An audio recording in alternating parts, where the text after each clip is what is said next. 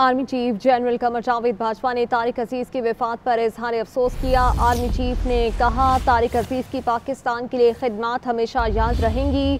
तारिक अज़ीज़ एक अफसानवी शख्सियत के मालिक और शानदार अदाकार थे। अल्लाह ताला मरहूम को जवार रहमत में जगह दे।